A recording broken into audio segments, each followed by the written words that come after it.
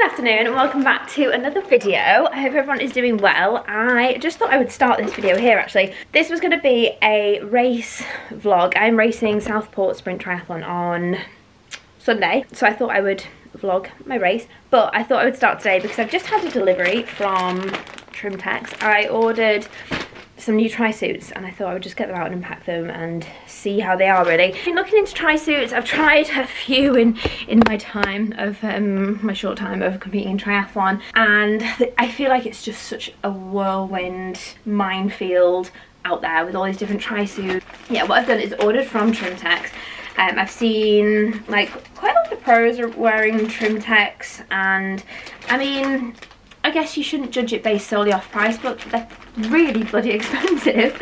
Um, so that's got to count for something. But what I did, I got an absolute steal. So this is last season's kit, and they've so brought out a new one, which you know, I'm, I'm not a pro, I don't need like the most aerodynamic suit ever, but this was last season's aerodynamic whatever, and if it was good enough for last season, it's going to be good enough for this season for me. And one of them was supposed to be 359 euros, which for a tri-suit just absolutely baffles my mind. So one of them was supposed to be 359 and it was reduced to like 109. So like a 250 euro saving, which is amazing. And then I got another one because like why not because it was so cheap.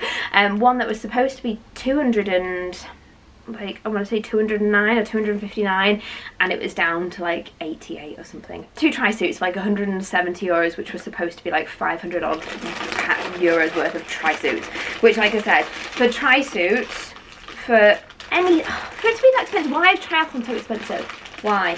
But then at the same time I understand because then I've also got some like cheaper tri-suits. Like I, I had a DHB one from last year and I literally bought it because I liked the design on it. And when I guess when you don't know what you're doing you buy stuff because it looks nice right? So yeah you can feel the quality you can feel the difference. Oh my god I'm gonna be such a pro in these. Okay this is the first one. This is Oh, it's just beautiful. So again, I don't know what the difference was, but this one was slightly shorter leg, and then this one was the Aero one, which I guess slightly longer, so I guess more aerodynamic because they're longer. I don't know. But um, this is the other one. This is like the top of the range 359 euro one that I got for like 100 euros. So yeah, and I didn't know what size to order. I'm looking at these now. I hope they're not too big. I'm going to say, don't you hate that when you look at something you're like, oh, that looks too big, and then you try it on like it's too small. Um, so yeah, I've got that one, and then I just loved, well, I love the colour of this one, and I just thought, why not get another one? So I'm going to try them on, I think. I'm nervous to try them on. Yeah.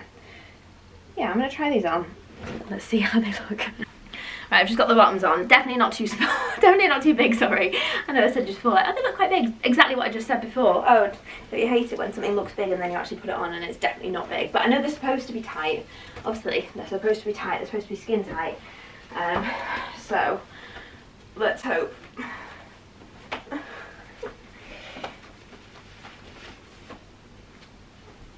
Oh my goodness. Yes. Oh yes. Oh, feel great in that. Let me just look in the mirror. Feels really comfortable. I'm really happy in this. So that is the first one. That is a success. I'm gonna try on this other one now and see how it feels. But yeah, so you can feel the quality. And I know I was saying before, like, oh, like what's the, what's the difference? Like, obviously there is. Um, this obviously is really thin up at the top here to, I guess, help with like keeping me cool. I'm gonna try it on, I'm so excited. Hello, I'm just back from having my hair braided, all ready for tomorrow's race. I cannot braid my hair, I don't know how these girls do it who braid their own hair, but every time, it's so bad, every time I have a race, I go and get my hair braided at like a hairdresser's. And to be fair, today she only charged me £10, so it's not too bad, but sometimes when they charge like 20, 25 quid, it's like, that's an extra 25 quid that like literally goes towards my hair that's in for a couple of hours. But anyway um hair is done. My face feels like i've had a facelift. Obviously like for anyone who's new to triathlon um having your hair braided like this and I think just for any sport or sporting event is really useful just for obviously keeping it out of your face.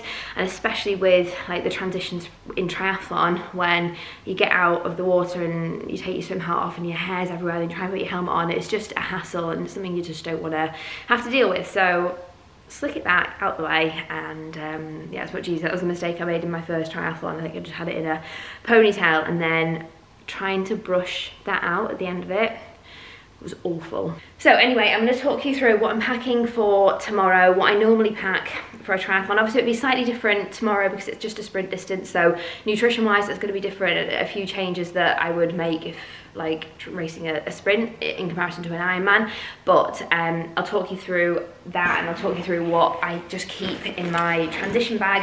Um, I've just got one of these huge transition bags. So um, it fits everything in which is ideal. So I'm going to pack all of this. Um, but things that I have in here already things that I picked up along the way of doing triathlon. So in this pocket here I've got sun cream I've got a load of bubbles. I've got like the little bubbles that go at the end of plaits because once I was driving to a triathlon and that one had broke.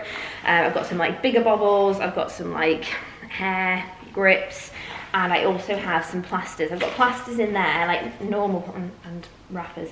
Plasters, normal plasters, but then I've also got in one of these side pockets blister plasters as well, which again, obviously I'm not gonna put a blister plaster on like midway through a race, so they're pretty useless to be fair, but I don't know. You never know. You never know. Someone might need one and you might just be there with one. I don't know.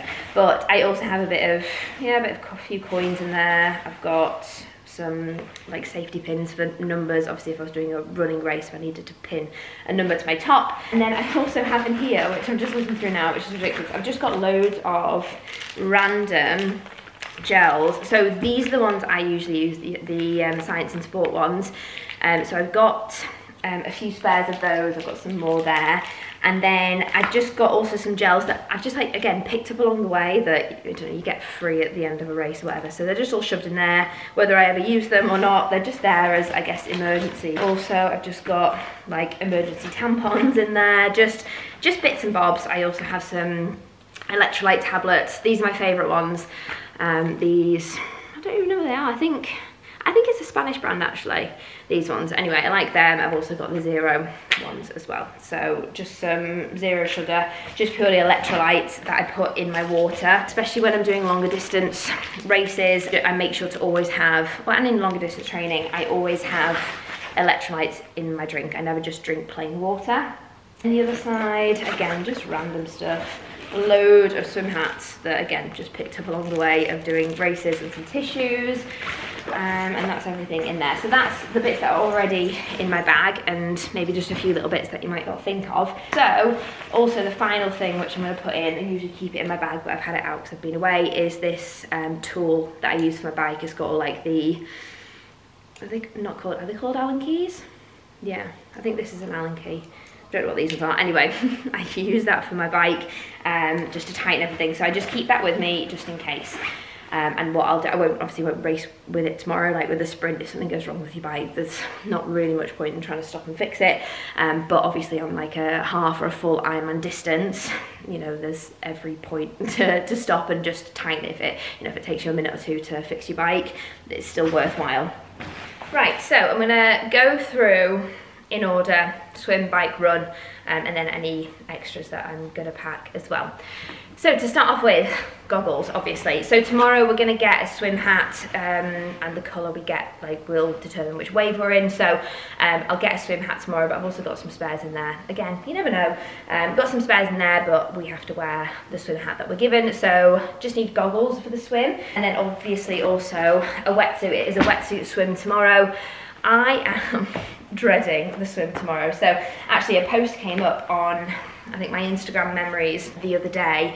Obviously I did, uh, I must have done Southport Triathlon maybe like four years ago, five years ago, I'm not sure, but it was my first ever standard distance triathlon. And in this post, um, it said like three things to remember for future triathlons or three lessons I learned or whatever it was. First one, actually really important, when you take your wetsuit off you're in a rush transition, don't put your wetsuit on top of your trainers, which is what I did in my first standard distance triathlon. Then got back from being on the bike, put my trainers on, they were soaked through. You don't want to put wet trainers on. So that was tip number one that old me said.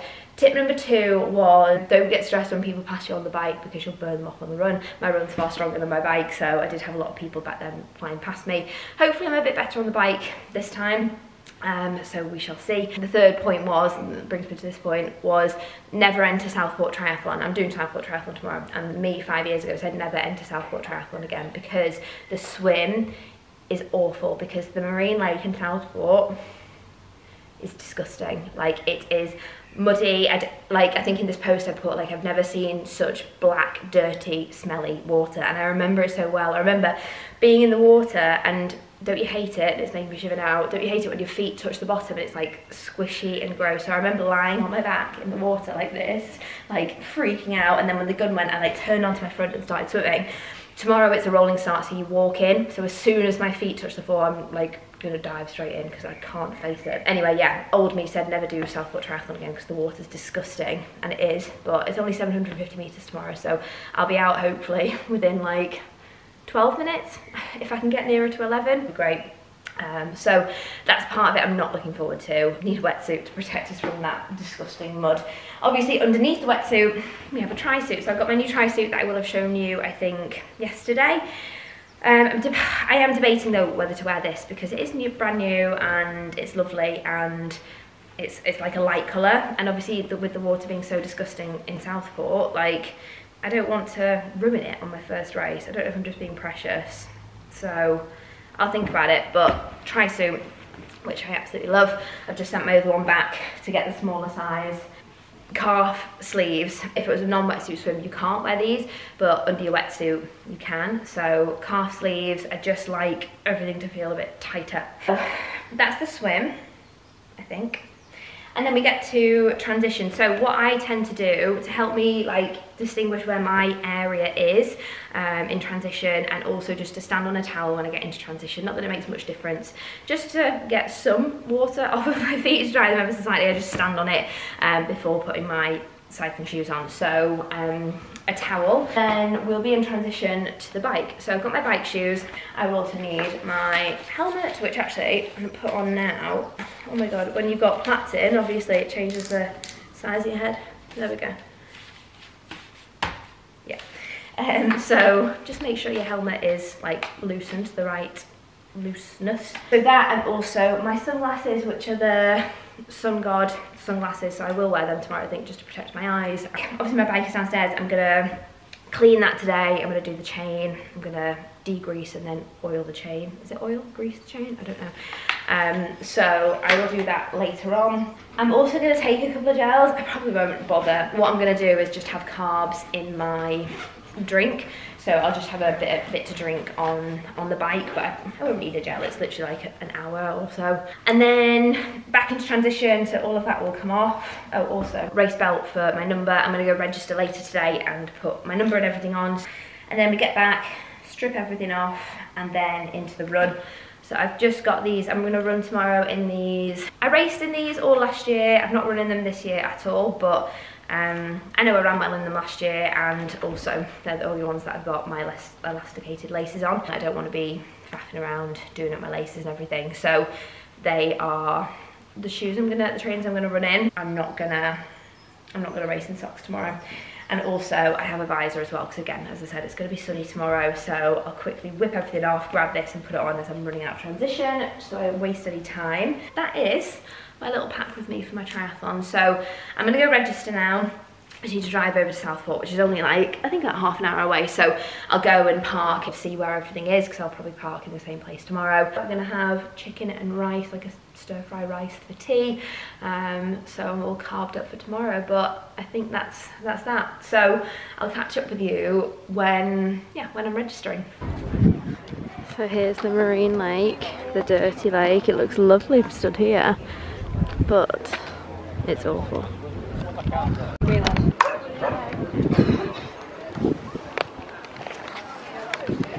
I'm all registered, number 887 tomorrow, quite like that number. And yeah, got all my stickers for um, my bike, and my helmet and everything. I've got my chip and I've got a swimming hat. I'm in the orange wave tomorrow. The amount of these epic events swimming hats that I've got is ridiculous. Um, and it always seems to be in the orange wave. I've got so many orange ones. I got a t-shirt as well. Usually, I don't know why I got a t-shirt. It's not necessary. Because usually I do, if you get an option to donate to charity, I do usually donate to charity because they're a bit they're a bit naff but um, I've got a t-shirt. So yeah I'm gonna go drive home now. I'm gonna stop at McDonald's because I fancy a Coke Zero. Crazy. And yeah I think I'm done for the day. It's really weird like I've not trained today. I feel like I've got so much time. Like what do people do who don't spend hours training? Like I'm gonna do a bit of work. I need to walk my dogs again. But like what else do you do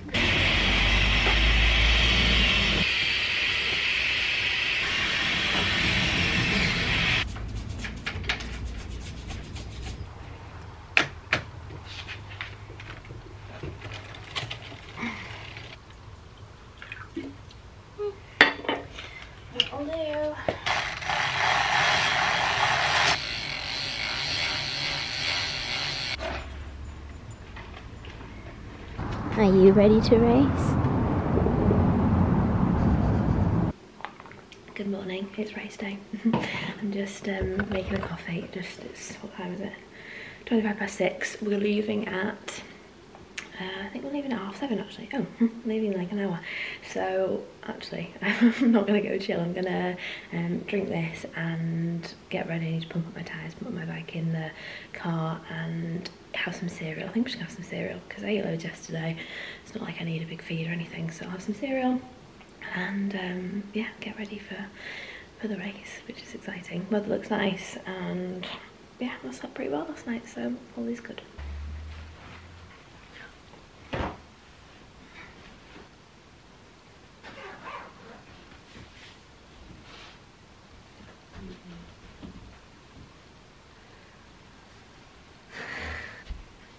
Ah, it looks great. Absolutely.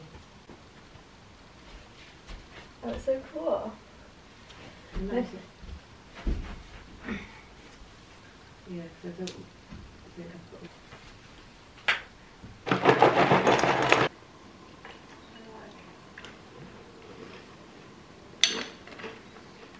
Left side.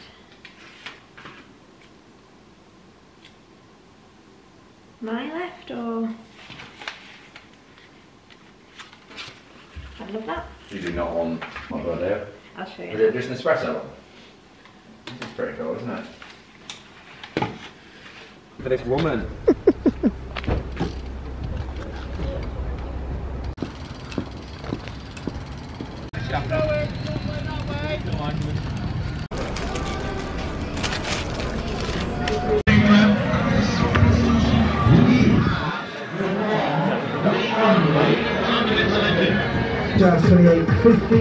The Jolly Athletics and Triathlon.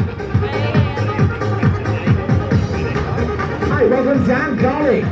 Three hours, two minutes and 30 time. But just, you know, go with what I say, Pat.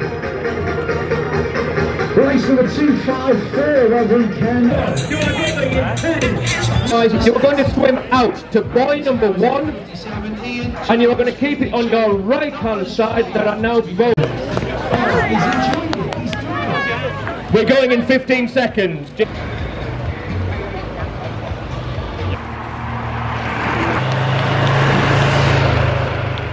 on, Laura, now we push. Come on, just push. Well done. Okay, come on. Go on. Push hard, come on. Well done. Go, Laura. Go on, Laura, push. Come on, push. All the way to finish, go on. Well done. The race is done and I came third and I'm really happy with that. First in my age group, third overall and I think that means a qualification for World Champs which is really exciting. So I will give you uh, an update when get home. I'm just to go and pick up my bike now and then we're to go home, quickly shower and then head to Nando's. I'm starving.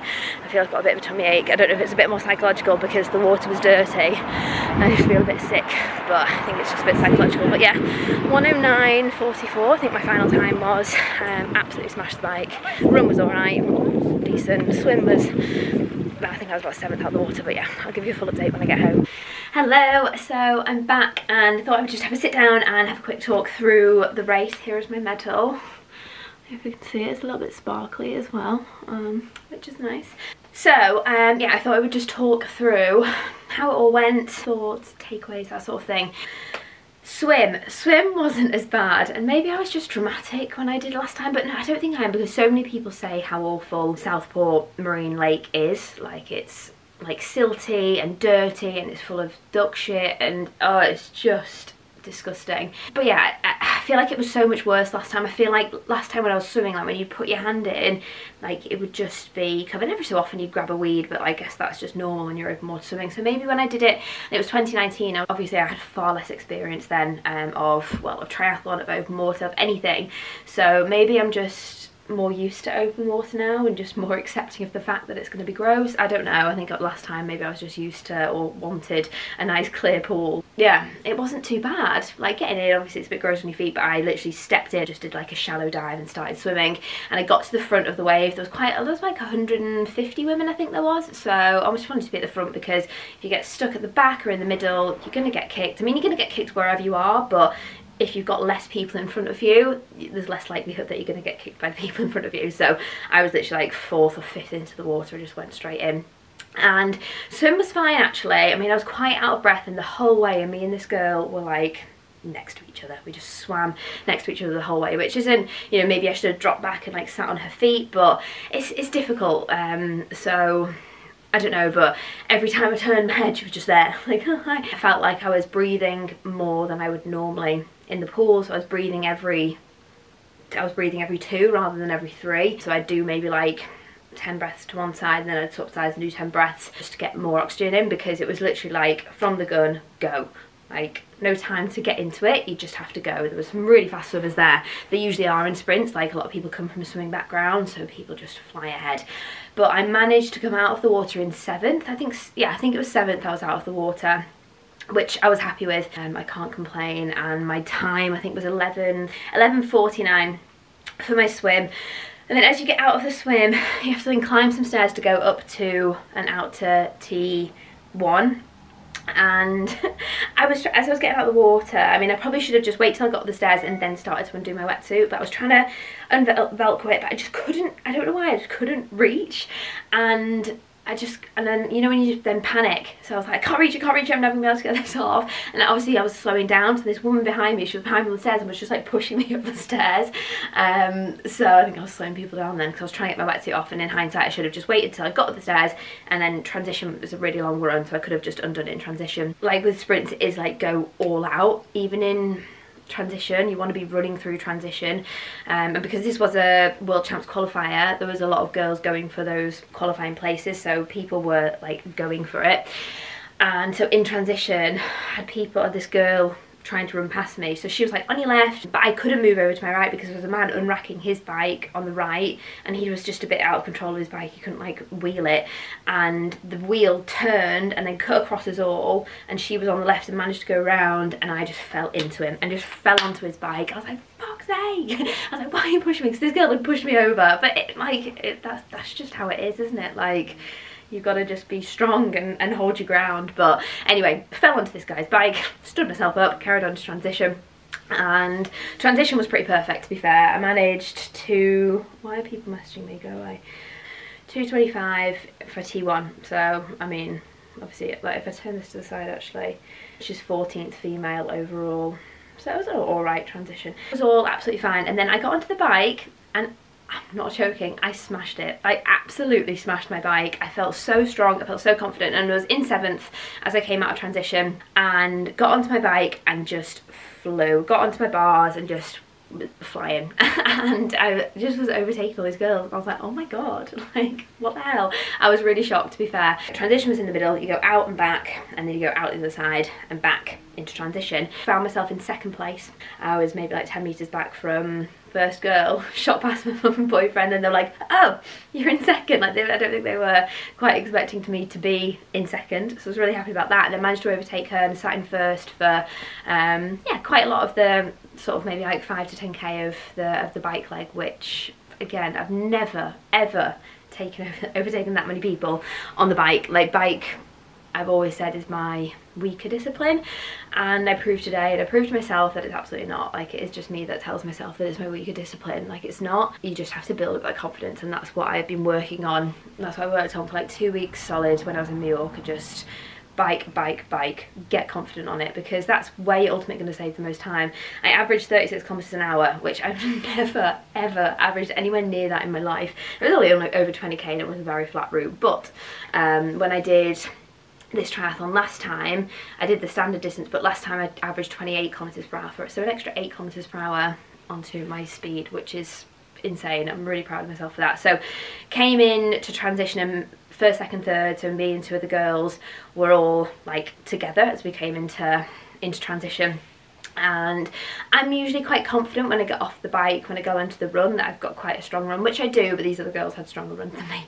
So um, they were gone. Well I came out of transition in second and I could just hear this girl chasing me down. She was an amazing amazing runner and um, yeah obviously she she caught me and then she caught the girl in front of me and she went off to, to win it. I felt really strong on the on the run. Uh, oh yeah, my bike time was 34.06 then my run official time was 20.03. Overall time was 109.39 um, which I'm really really happy with. Second place was 20 seconds ahead of me and then first place was 30 seconds ahead of her. So there's only 50 seconds between the top three which I'm really happy with. And yeah I won my age group which is amazing because this was a world champs qualifier. And so what you have to do you have to register your interest to qualify for world champs and you have to pay it's like a 12 pound fee on top of the entry fee.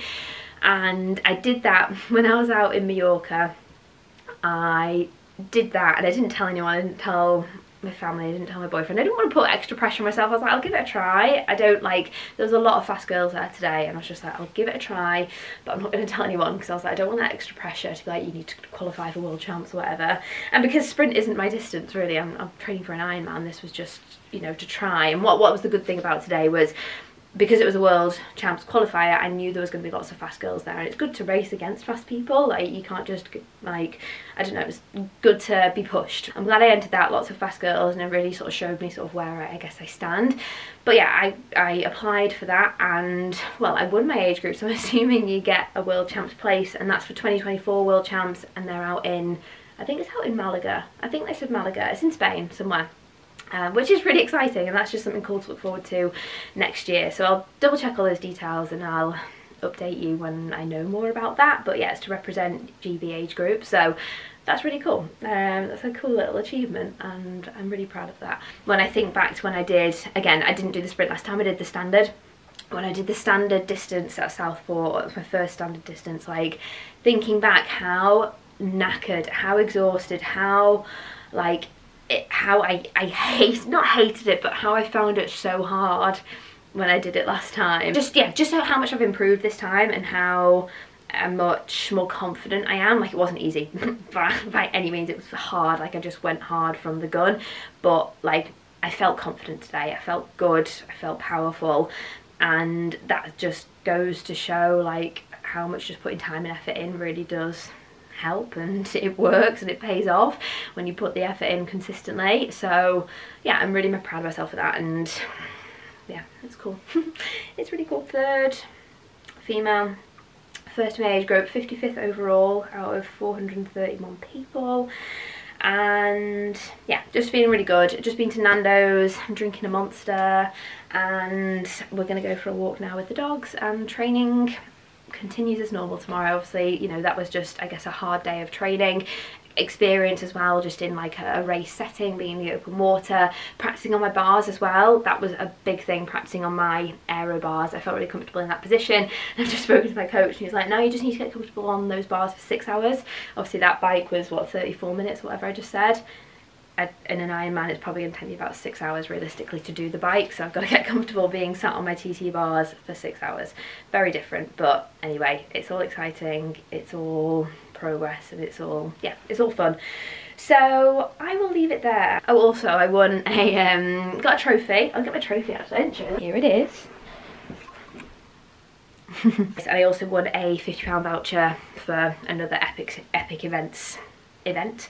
So that'll be good. I can use that at some point this season or next season. So Epic Events do put on really good events. But yeah as I said back to normal training tomorrow. Uh, I think I've got a swim and an easy bike. Um, I've got a half marathon, Edinburgh half marathon next weekend, so I will vlog that as much as I can.